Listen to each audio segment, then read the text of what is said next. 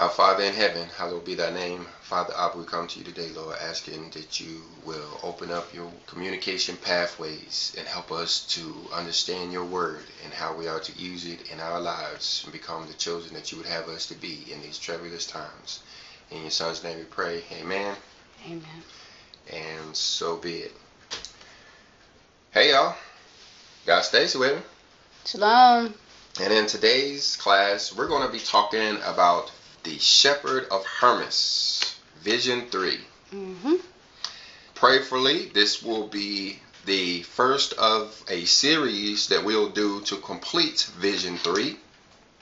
Just like we've done in similitudes and in the commands of the book called The Shepherd of Hermas, we went down through and did a verse by verse study covering every verse in that entire book with the exception of Vision 3. And so we plan to finish that up here right now.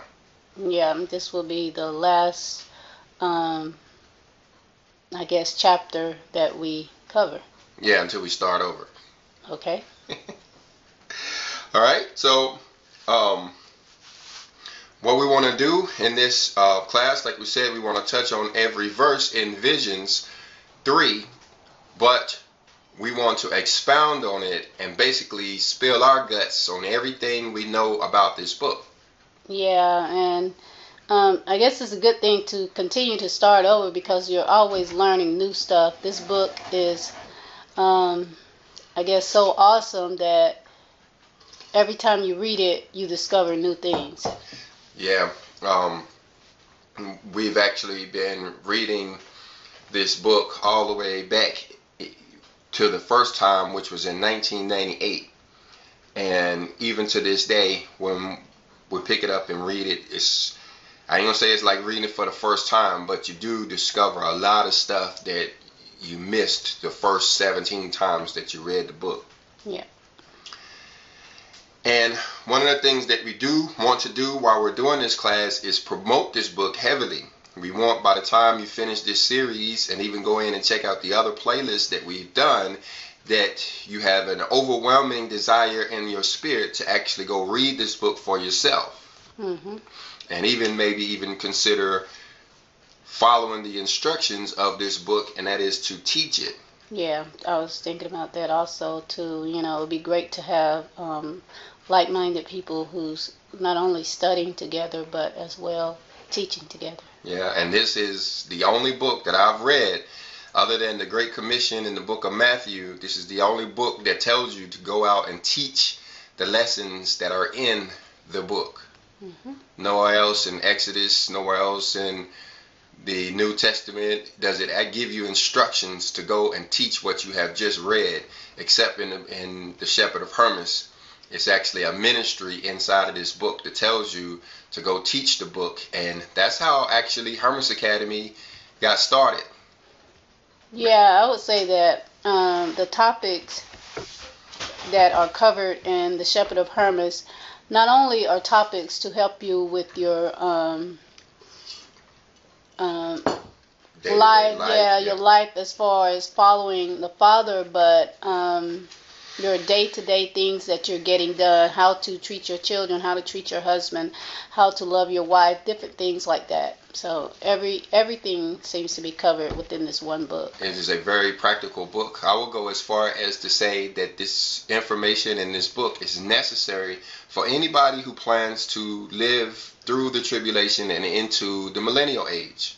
Mm-hmm. Now, of course, anybody who's planning on flying away, of course, they can do what they want. You know, they don't have to really, you know, work to change their lives as those people who plan to inherit the earth.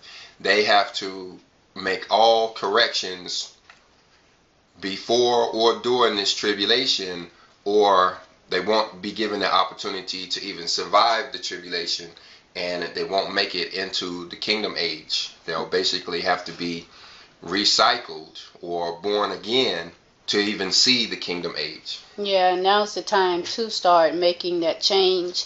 Um, you know, now's the time that we have, well, we have been given the time to start preparing. So, you know, go out and purchase the book. You can uh, find it on eBay where you can get it, you know, three or four dollars, or you know, sometimes it's even higher if you want a used book, or you can purchase a new one at a very reasonable price.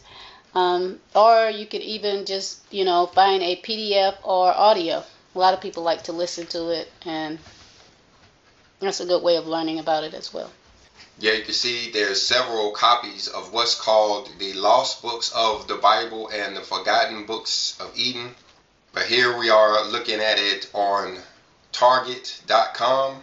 This is the exact book that I have. It's called The Lost Books of the Bible and the Forgotten Books of Eden, and it has the Shepherd of Hermas in it, amongst a lot of other different hidden books and forgotten books. And you see, this is about ten dollars and 99 cent but like stacy said you know if you want to find one used you can find one for about two or three dollars on ebay but for this class we're actually going to use a free pdf that you can download to your computer. I've come into google and i've typed in the word the shepherd of hermas and i'm also searching for the william wake translation because that is the exact same translation that you find in the lost books of the Bible and the forgotten books of Eden. To me, that is the best translation. And if you come down to a website called en.wikisource.org, you'll find an article about the Shepherd of Hermas, but part way down in the web page, you'll find the actual text to the book it's in three parts. You have Visions 1, Mandates, which is called Commands, and you have the Similitudes or the Parables. Those are three different books. We'll click on the one called Visions, and as you see here, it'll give us the text to the book. We've done classes on Vision 1 and Vision 2. Like I said, we've done this entire book. We've even done a class on Vision 4 and the other parts of the book, Commands and the Similitudes. So after you finish watching this video, I would suggest you go over and check out those playlists or go find that audio book that Stacy was referring to and listen to The Shepherd of Hermas. It'll take you about four hours to listen to the entire book, but I promise you it'll be one of the best, most important books that you'll ever read in your entire life. It starts off a little bit strange because Hermas is having a dream or a vision which is where this portion of the book gets its namesake from. But then, as it goes on into commands and similitudes, it becomes more practical and not so strange. Would you say, Stay?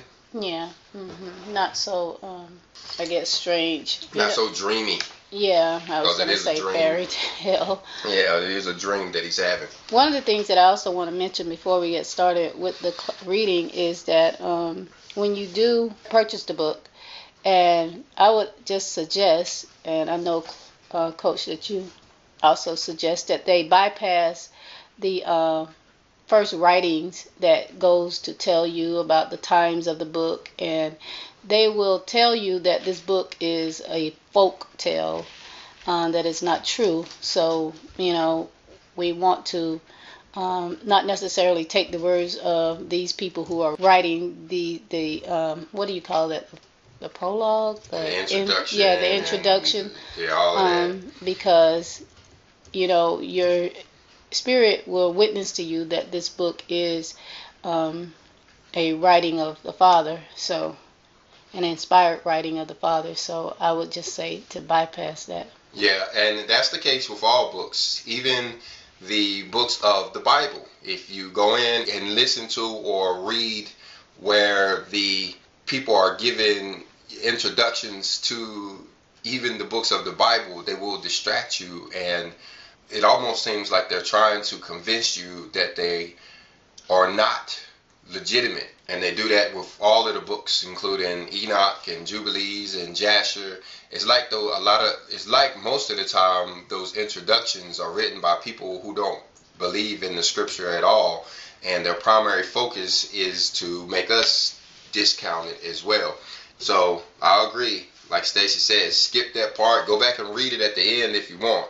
you know, after you have tried it by your spirit for yourself. This is the word of God, and He never expected us to allow people to tell us what we are supposed to think about it. We do have a spirit inside of us that this book and all of the scriptures written for, so we should give our spirit man the opportunity to judge without letting Gentiles or heathen or atheists or scholars or whoever they want to be tell us what they think about it. This book was actually part of our Bibles at one time until some of those Bible scholar kind of people decided that they didn't want it in the Bible and they took it out. They actually removed it. If you go back to the early scriptures, you'll actually find the Shepherd of Hermas in there. In my opinion, the Shepherd of Hermas is the instructions that we were supposed to get in the second era of course, the first era, we got those instructions by way of Moses, where we learned the statutes, the judgments, and the commandments back there in Exodus chapter 20 through 23. But if you think about it, could it be possible that the only instru- instructions that we were supposed to get after the Messiah came was the Beatitudes, considering that Matthew would actually be considered an old covenant book because the new covenant didn't start until after the death of the Messiah. We actually didn't get any instructions going forward by way of commandments, statutes, and judgments, with the exception of the shepherd of Hermas. And like I said, those guys took it out of our Bibles, seemingly maybe to confuse us and keep us to where we were dependent on them for our food, our clothing, our shelter, and even the instructions from our Father.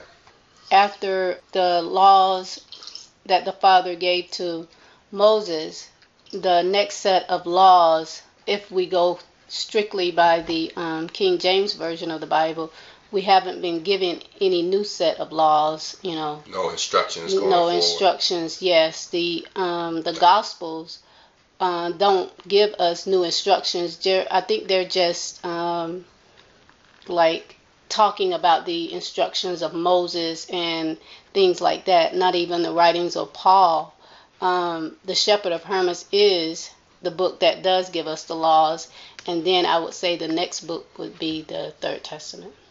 Yeah, that would be the third era. We got instructions in the third era on how to live spiritually, but the only instructions we got, other than the Beatitudes, you know, that's Matthew chapter 5, 6, and 7. Which point back to the laws of Moses. Yeah, they point back to the same laws that we got from Moses and just expound on them a little bit. Yeah. So you're right. The only instructions that we got as far as commandments and how we're supposed to live in the New Testament era from the birth of Christ to now, or to the Third Testament, was the commands that were given in the book of the Shepherd of Hermas, that second book called Commands. Yeah.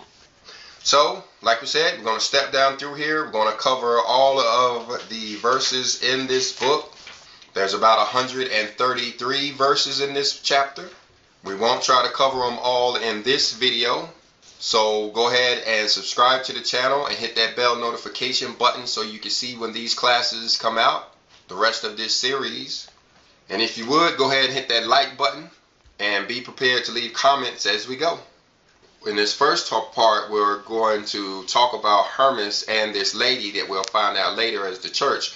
But in the following parts of this class, we'll get into the actual building of the church.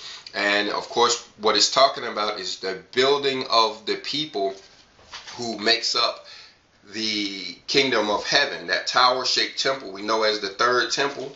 You may remember the verse over in First Peter chapter 2 and verse 5 where it says, Ye also as lively stones are built up a spiritual house and only priesthood to offer up spiritual sacrifices acceptable to Jesus Christ. The stones that he's talking about is no doubt pointing to what we'll learn over here in the Shepherd of Hermas because we find out that that tower shaped temple is built of the stones that are our spirit man that you read about all in the second chapter of First Peter.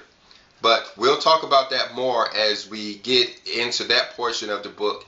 And then toward the end of the book, there's a special message for the elect of God from the church, from our Father. We find a message that he sent to us by way of the scripture by directly that we as the ministers of Christ are supposed to go out and teach the elect of God. And again, that's who this book is written for. It's for the elect of the most high. Not necessarily for the entire church body who would consist of Gentiles and non-believers. This book is primarily for the elect, the chosen, the 144,000 those who plan to inherit the earth and go on to be the new Noahs of the world. All right, Stacy, do you mind reading? I will be the reader. All right, if you would start Vision 1, which is on the building of the church triumphant and several sorts of reprobates. Verse 1 The vision which I saw, brethren, was this. Okay, so now again, this is a vision. This is a dream, what we would call a dream. Mm-hmm. And like this, a daydream. Yeah, like a daydream. In the third book called Similitudes and Similitudes 9, we're going to hear the exact same story, but it's not going to be in a dream state like it is in this state, or a night or, or a daydream state. It's going to be um, more more vivid than this one is. But this one um, is going to be able to give enough information for us to understand what's going on. And like we said, our plans is to expound on each of these verses that we're going to talk about and, you know, tell you as much as we know about them. Mm-hmm. So we'll be jumping ahead and jumping around and jumping all over the place as we add details that you wouldn't necessarily catch in the verse if you just read Vision 3 alone. Right. Number two. When I had often fasted and prayed unto the Lord, that he would manifest unto me the revelation which he had promised by the old woman to show unto me, the same night she appeared unto me and said unto me. So here it is, he's talking about the same night. So is this a daydream? It could be a night dream.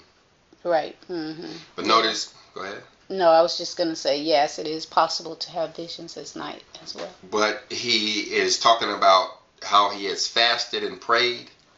Yeah, so I believe in this verse because we know that the acceptable fast for the Father is that we um, go out and I'm going to sum it up by say work merits. Mm-hmm. Um, but there is a fast of um, abstaining from uh, food as well, yeah. and I believe that is the fast that Hermes is talking about in this verse. Yeah, and I and I believe you're right too because we learn later on that Hermes is going to be instructed on a proper fast. Right. The fast that you read about in Isaiah chapter 58.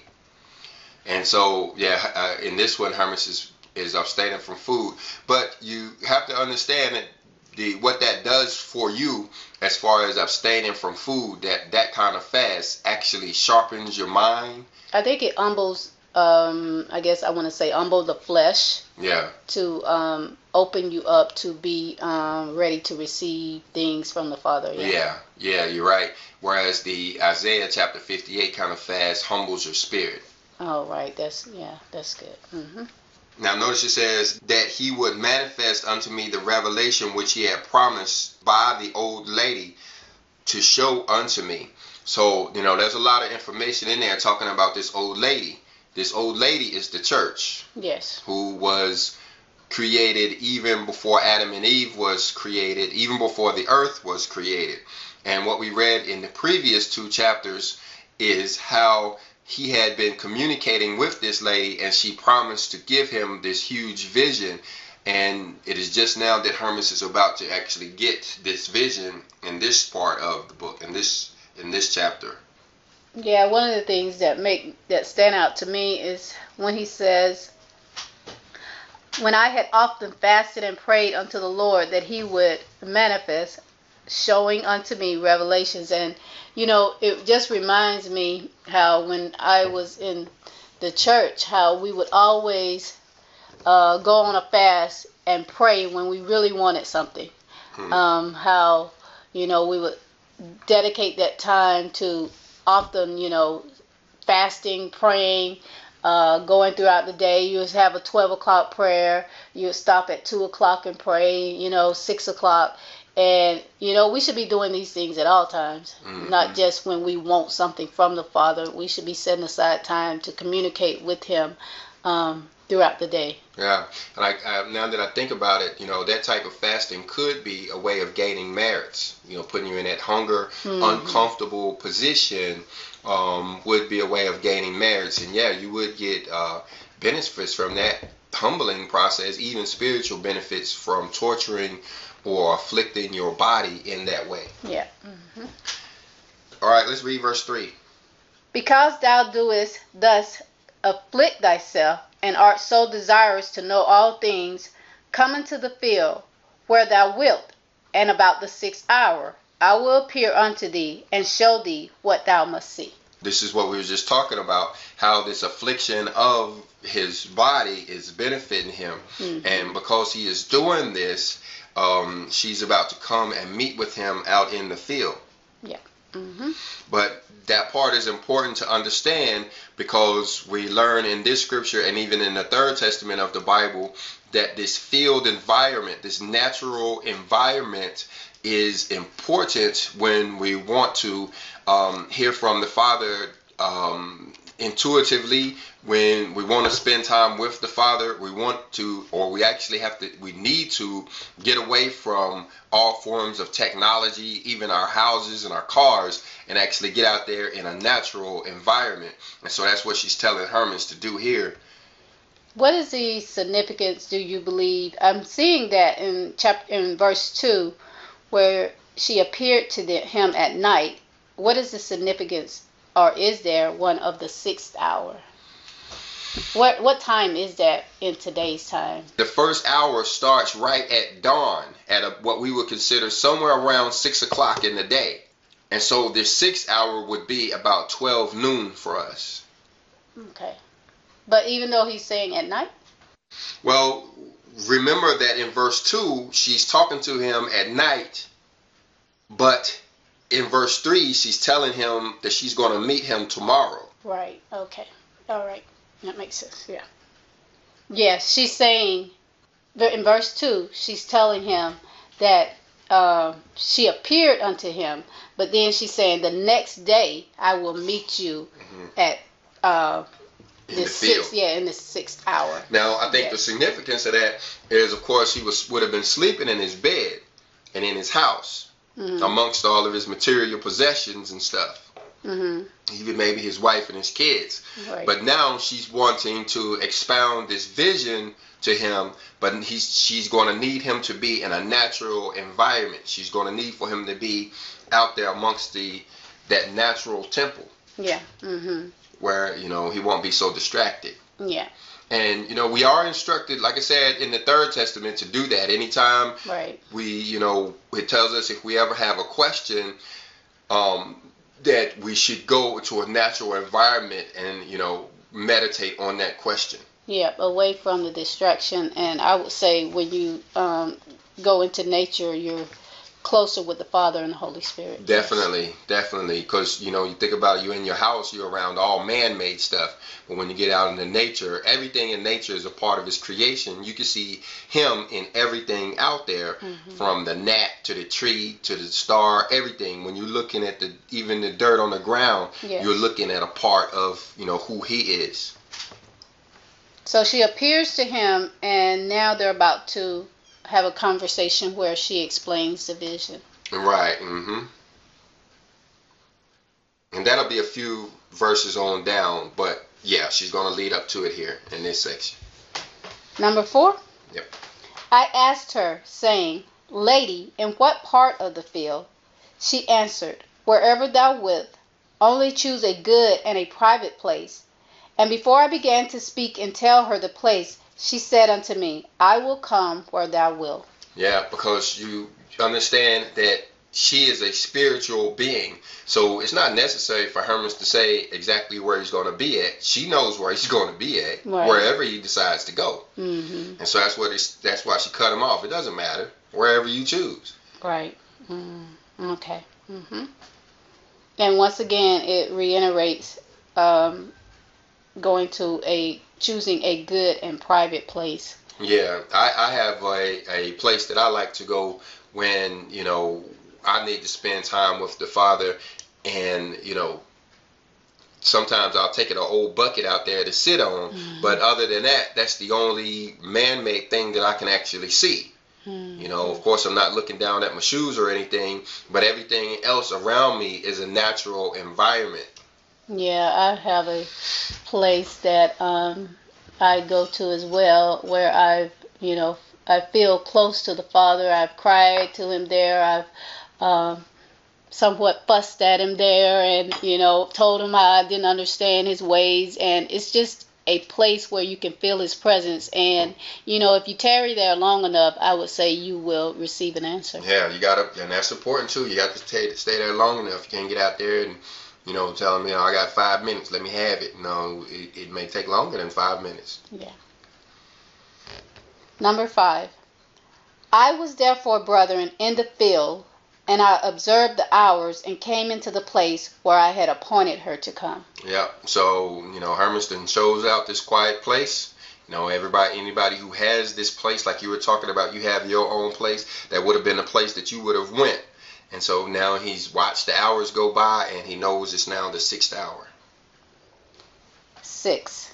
And I beheld a bench placed, it was a linen pillow, and over it spread a covering of fine linen. Okay, now this is important to the study, is how there's actually a bench there. Now, I would like to see, you know, the original language that this was written in to maybe get a better idea of what kind of chair or seat this actually is, mm-hmm. because it's going to play an important part in the story we'll see later on towards the end of this chapter. Yeah. In this one, she's going to be in a bench, and the next one, she's going to be in a chair, and the next one, she's going to be, you know, I can't remember if it's a stool or standing up or something like that. But where she sit, where they where they are actually sitting at, is important. hmm Seven.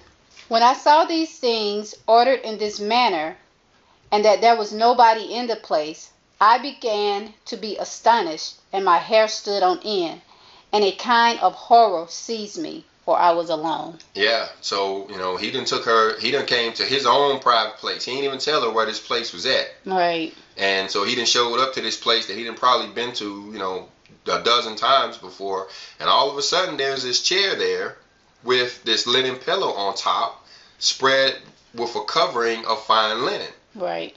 You know, and you know, I looked this up. I used to think linen was white. Linen is actually a tan color, Yeah, it's a natural. natural color, like Mhm. a light brown or whatever. Yeah. And you know, I tried to find a picture, and I may even have to order me some linen so I can create this, so I can make my my own picture of this bench with this linen pillow and this linen covering on it. Yeah, I actually looked it up the other day, and there are several places um, where you can find um, decent, like remnants at Yeah. a different, you know, decent size for a decent uh, price. Yeah, just something so we could see, get an idea of what this could actually look like. Number eight. Well, do we do we have anything else on seven? Well, we want to talk about how you know when he noticed that these um, this bench and these the covering was sitting in his private spot where apparently nobody knew about that he had chose out. Uh, when he sit saw it sitting there, of course he was kind of scared. You know Yeah. what's going on? How yeah, did that how get did there? this get here? You know, Yeah. It- you can imagine it, it, if it was us, it would be on our property. hmm So it's like, ooh, who done put this here? You know what I Yeah. mean? Where Mhm. did, you know, how did this appear on my property? Don't nobody even know where this place is at, Yeah, you know? And so, yeah, it would have been kind of, kind of Kinda yeah s- scared. yeah. I would I would I would have saw it and uh, ran. you'd have came back and said, well, yeah, somebody's down there. They don't set up something. Yeah. okay, number eight. But being come to myself and calling to mind the glory of God and taking courage, I fell down upon my knees and began to confess my sins as before. So, you know, his spirit kind of helped him out there, gave him a sense of bravery, and made Yeah. him not run on. You can imagine how bad it would have been for the rest of us is if he had never gotten this vision. Right. You know, so praise the Lord, he had a little bit of courage. And um, I want to talk about wow, how he fell down on his knees and began to confess his sins Go ahead. as before.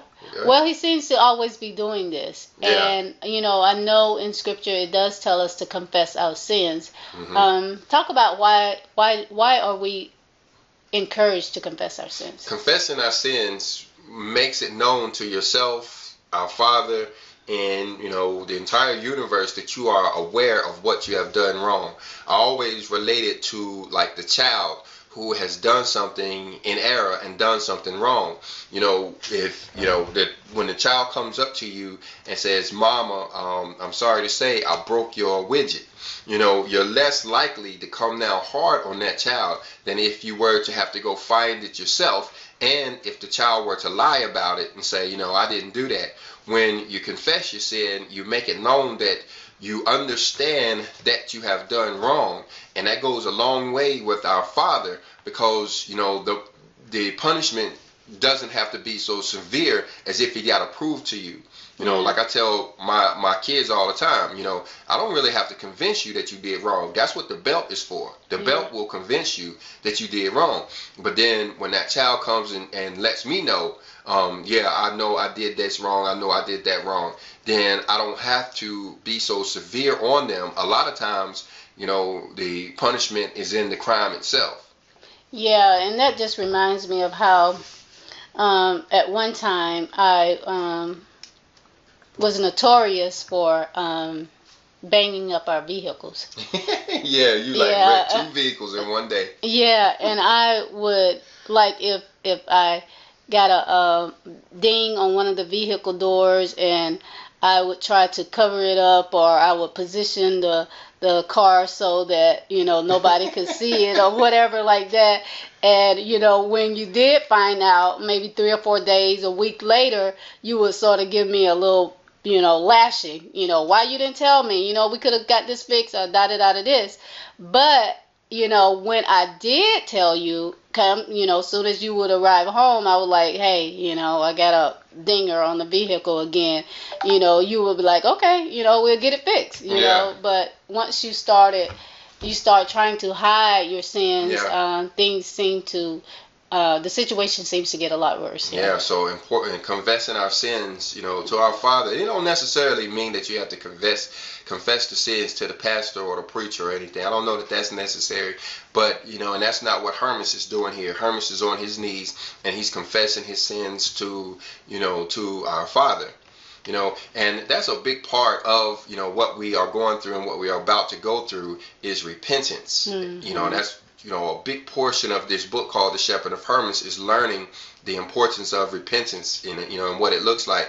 And confession of the sin goes a long way as far as your repentance because, you know, you're identifying what it is that you did wrong. And then, you know, you just, you know, once you know, you know, knowing is half the battle, now you can start to think about correcting. Yeah. Number nine. And whilst I was doing this, the old woman came thither with the six young men whom I had seen before, and stood behind me as I was praying, and heard me praying and confessing my sins unto the Lord. So you have these six young men here. These are angels. Yeah. We we're going to learn later on that these are um, the top angels. This would be the archangels. This would be uh, the Michaels. This would be Gabriel. This would be Raphael. This would be um, even, maybe even Uriel, who we're going to you know hear about a lot in this book. Um, we're going to hear from Uriel. Um, these are the the top venerable angels, um, and you know here for her to be with them um, is important to the story because we're going to see them later on and how they you know are in charge of building this tower. Yeah. Mm-hmm. And touching me, she said, Leave off to pray now only for thy sins. Pray also for righteousness, that thou may receive a part of her in thy house. Yeah. So Hermas is confessing his sins. Um, but she's saying don't only just confess your sins, but pray to actually get better. Pray Yeah. to, you know, stop sinning. Yeah, to become righteous and not only for yourself but for your household as well. for your entire household. Now, Hermas is a pious individual. Like he says, he's constantly praying in this book. You know, that's why he was chosen to um, deliver this message, is because he was a very prayerful, very pious um, individual. But you have to remember that Hermas would have only had the uh, instructions from Moses to go by. He would not have even had the Beatitudes because the uh, books of Matthew, Mark, Luke, and John weren't available yet. hmm And so he may under, have understood the commandments, the statutes, and the judgments, but he hasn't gained what he will gain in the second book called Commands. Yeah. You know, he hasn't gotten that second era instruction. Yeah, one of the things, you know, as you said that Hermas was pious, I also thought about how he had to have been um, an humble individual. Yeah. And it makes me think of how earlier we were talking about, you know, during the time of Moses, we was talking about now the shepherd of Hermas, as well as the Third Testament, where the Father was giving instructions. We know that Moses was a humble individual, Yeah. and you know, we also know that Rogue Roaches was a humble individual. So that leads me to believe that the Father works through people who are humble. You know, the Third Testament encourages us to, that we have to be humble, and um, by looking at that example of how he used these three individuals when giving out the laws and, and the instructions, um, it makes us makes me think that you know you have to be humble. Yeah. Well, you think about it, the Messiah was the most humble person on Right. the planet. Yes, you know yes, what I mean? Because, as well. You know, he went through a whole lot of stuff that, you know, the rest of us would have turned around and brought down fire and, you know, Mhm. lightning on somebody's head. And, you know, he just sat there and took that, you know, that's a that's a huge part of, of humility. But you're right, you know, it's it's absolutely necessary for us to have humility in this time. I was just thinking about it the other day that, you know, if we are arrogant, the Father can't help. He can't help us. He cannot help us if we're arrogant. Because we know it, we think we know it all already. Right. Right. We can't be touched. You know, if we are arrogant, he can't get through to us to convince us to, you know, correct our ways. And of course, every one of us, you know, needs correction. Mhm. We all have missing parts to this puzzle. Even the smartest of us doesn't have a full understanding of what's going on. And so when somebody comes to you and says, you know, I have a bit of information, you know, if you if we're too arrogant, then we can't accept that that uh, bit of information and we'll go on in error. Yeah. hmm You know, we'll go on in mistruths, we'll go on in lies or whatever, making mistakes because we're too arrogant to actually let somebody give us their portion of the truth that the Father has shared with them. Yeah. hmm We'll shut them down Mhm. um, and say, or even believe that they don't have anything to add or to tell you that is new that you already know. And everybody has something to add. Yeah, definitely. Everybody has something to add. You know, you're right about that. And you know, I can't stress that enough. That's one of the most important things that we learn from the Shepherd of Hermas is we have to be humble. You have to be humble. If you don't, you're gonna get humiliated. You're going, you're going, you're going. It says that you know in the scripture in the Third Testament that when you are when you become arrogant you will start to destroy everything that you have created everything that you've worked so hard for up until that point the moment you become arrogant about it that's the moment you start going backwards and start destroying stuff and start tearing up stuff the arrogant person will destroy his whole whole world Mhm. until the moment he decides that he's going to be humble till the Mhm. second that he decides he's going to be humble he's going to be destroying himself his family, his home, his ministry, his job, everything. He's going to destroy it. Number 11. And she lifted me up from the place and took me by the hand and brought me to the seat and said to the young men, Go and build. Okay, so now here it is that she's telling these young men. We we find out that they're angels. They're actually in charge of the building of this temple that we're going to hear about. Again, this this um, um, the large portion of this book is about the uh, building of the third temple. Yes. And you know, she's telling these angels to go here and build. Now, we're not going to get into the building of this tower in this section. We're going to stop on about verse 20 or so.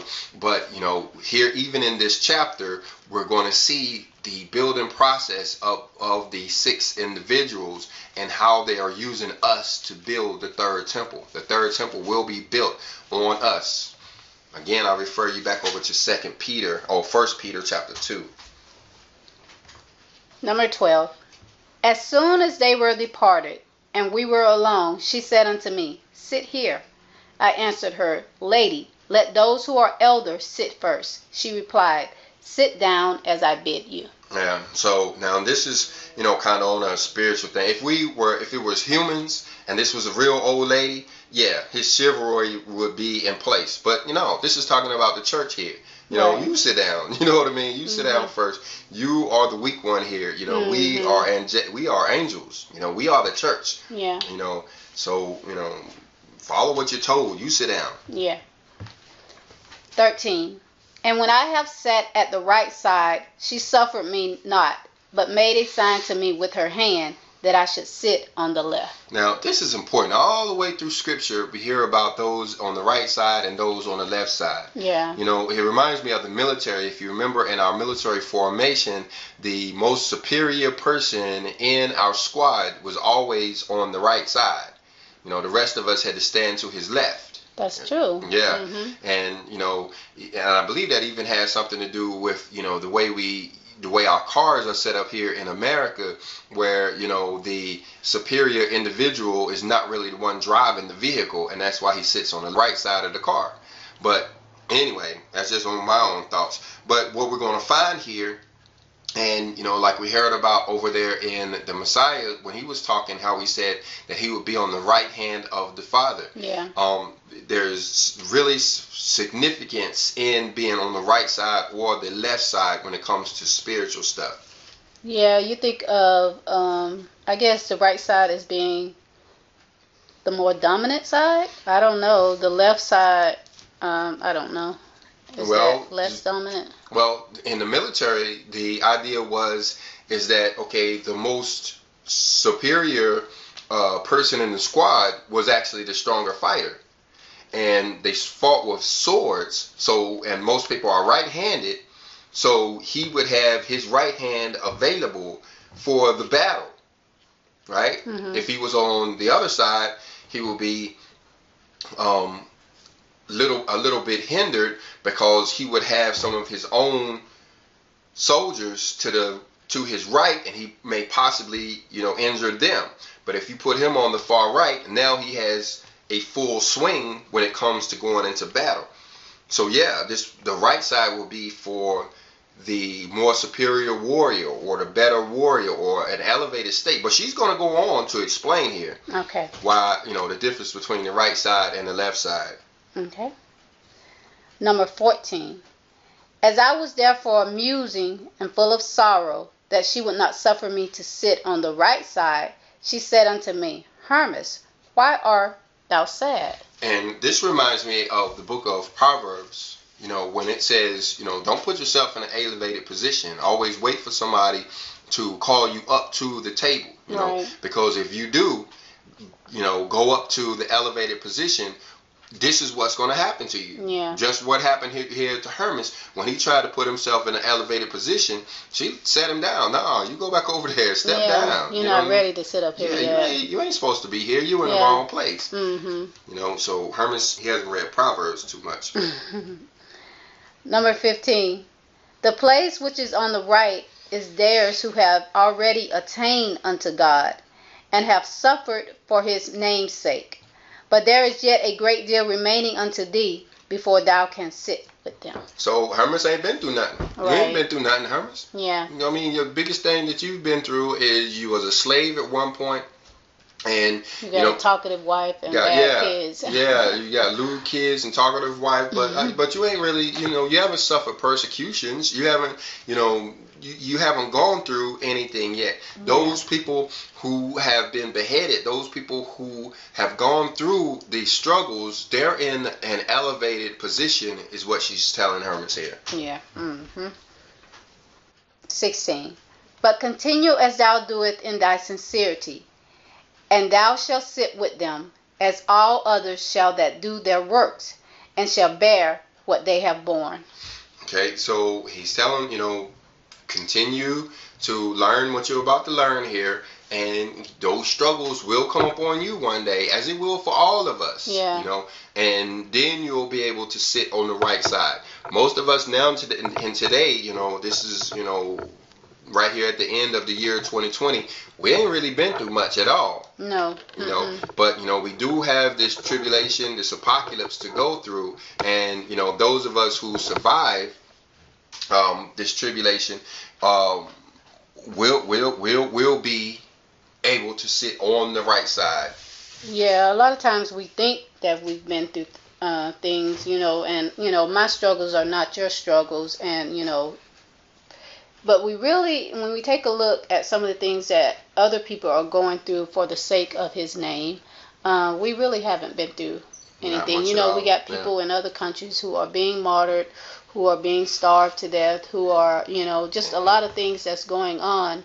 And we have the freedom of not going through those things and, you know, there's a lot of things people are going through for the sake of the Father's names yeah. that we don't know about. So yeah, there's a lot of people in hunger right now, yeah. in poverty right now.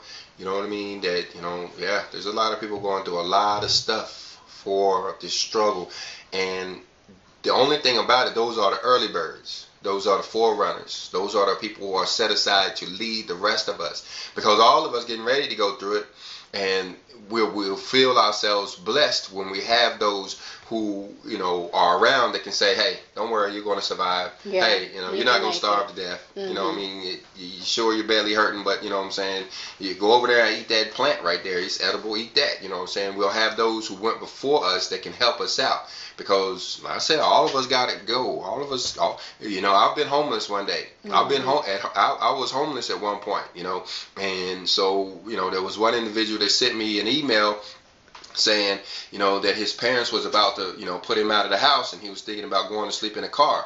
And I'm like, hey, that's great, man, because, you know, a lot of people ain't got that car to sleep in. You know, right. they right under the stars. You know, yeah. I want them to tell them, you know, that you know being homeless is not that bad. You know what I mean? Jump on it.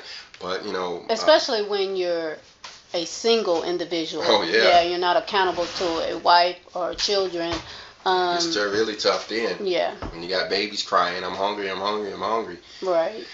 Um, so, yeah. you know, we we we really need to understand that. Stop being so selfish and look at you know this world from our own eyes and look at it from the other guys because, like you said, there is a lot of people going through a lot of stuff. Mm-hmm. Number seventeen. I said to her, Lady, I would know what it is that they have suffered. Here then, said she, wild beasts, scourging, imprisonments, and crosses for his name's sake. Yeah, so these are some of the things that these people have gone through. Wild beasts, you have to remember that one of the things that the Romans did to the Hebrews after 70 AD when they had them in captured was they made sport of them. You know, in those Roman cathedrals over there, one of the things they did was they brought these Hebrews in, these Hebrew men in, and allowed the lions to eat them in front of everybody else. They just threw them in a ring with a lion, and the whole uh, sport about it was how long is he going to run around before this lion or this tiger catches him and chews him up and eats him right there in front of us. Yeah, imprisonments as well as crosses. I think we have to remember also that this was happening right around the time, right after the Messiah, yeah. um, during the time of Peter, Paul, and um, the um, disciples of the Messiah. So they were under uh, the ruleship of Rome, and they didn't show any mercy toward no, you know, they really didn't care. God. Yeah. And you know, when it talks about crosses there, it's not only talking about that wooden cross that we can see and being hung, it's talking about, you know, um, it's talking about being humble. It's talking about being persecuted. It's talking about you know, um, anytime anybody you know does anything to you, you know, calling you a liar or calling you a false prophet or anything like that. Those are those are the crosses that we'll bear. Talkative wife Right. or even smashing your finger are all part of these crosses that he's talking about here. Right. 18. For this cause the right hand of holiness belongs to them, and to all others, as many as shall suffer for the name of God, but the left belongs to the rest. Yeah, so you know, those of us who are willing to suffer and do have to go through some suffer, we will be in the most elevated position. You know, you know, I know you hate to hear this kind of stuff, but the most important position out of anybody who goes through the tribulation will be the one who is actually killed for the name of God. Yeah. Yeah, we'll find out in similitudes, um, and when it's talking about those mountains, um, one of the, you know, of course, you know, innocence goes a long way too, but um, like the Messiah was martyred, you know, he was killed. That put him in the highest position out of everything that you know is to actually have to die for the word of God. hmm It also um, makes me think also about how um, we as human beings always want to be happy. Yeah, and You know, yeah, and comfortable, and you know, Lord, just let me be happy. I just want to be happy. You know, and I've said this too. I've said this many of times, but when you're happy, you're you're not being you're not benefiting anybody. You know what I'm saying? You're you're benefiting just yourself. But when you have to go through things, then not only do you have a testimony, but you can help people. And so just being happy, you know, though we want it and though I want it too, um, it doesn't help you in your striving for the kingdom. If that if that makes sense. Yes, it does, and in fact, it reminded me of you know what we read over in the Beatitudes, um, how it starts off, and it's talking about what it means to be blessed. It says, "Blessed are the poor in spirit." You know, Mhm. blessed are they that mourn. Blessed are the meek or the humble. It says, "Blessed are they which do hunger and thirst after righteousness." And you know, some of these, if you look at other translations, it says, "Blessed are those that are hungry." Mm-hmm. You know, blessed are those that are that are that are uh, uh, thirsty. You know, because it says those who are hungry now will be fed later. Yeah. You know, so and that goes back to what we were talking about earlier. How there's some people who are out here going through a lot of stuff. You know, the Father is preparing them for you know what's to come, and they, uh, while they're out there now and they're being hungry, they're learning how to live without. They're learning how to not rely on the grocery store so much for their food. You know, you know. I think when we was going through our hunger pains, we we found about you know five or six different plants that was growing in our yard that you know we had been mowing down with a lawnmower that turned out to be food. Yeah. You know, Mhm. you know that you know is just growing in the wild.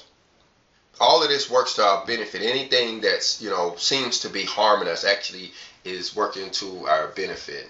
So in 18, he's essentially saying, well, she's essentially saying that the ones who are on the right are those who have went through something, and the ones on the left are those who uh, just want to be happy or just live the comfortable life. Or haven't gone through it yet. Yeah, have not Yeah, gone through yeah. it yet. hmm 19. Howbeit the gifts and the promises belong to both, to them on the right and to those on the left hand. Only that sitting on the right hand, they have some glory above the others. Yeah, so it's like a purple heart. Know. the way? What do you mean? Well, you know, you don't get anything Okay. extra benefit in the Yeah. military for being wounded as a soldier. You just got that distinction yeah. that you get to have a purple heart. Right. You know, you don't get no promotion out of it. You don't get no extra money out of it. hmm You know, you don't. You know, it's just that you know, you there is that distinction.